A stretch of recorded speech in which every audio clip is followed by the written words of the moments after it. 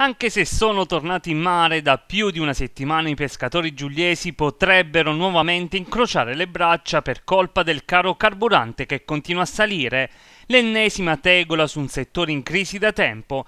Il gasolio è la prima voce di spesa per un'imbarcazione da pesca e rappresenta il 60% dei costi vivi totali, più delle retribuzioni del personale di bordo. Purtroppo il problema rimane, eh, anzi aumentando giorno per giorno eh, i margini sono sempre sempre più sottili e quindi non sappiamo fino a quando riusciremo a tenere duro. Da una media che nel 2021 si era stabilizzata attorno ai 48-60 centesimi al litro, si è passati agli odierni 1,10 euro, 1,23 euro, con punte di 1,35 euro negli ultimi giorni. Ciò significa una sola cosa, i costi diventano maggiori dei ricavi e quindi uscire in mare è diventato quasi insostenibile. Il problema è che eh, se continua l'aumento ci fermeremo in automatico, anche perché non, non, si può uscire in mare sapendo che ogni giorno ci rimetti, ci rimetti soldi. Dipende tutto dal pescato, dai prezzi che si riesce a fare, ma eh, se continua di questo passo eh, purtroppo i tempi sono brevi.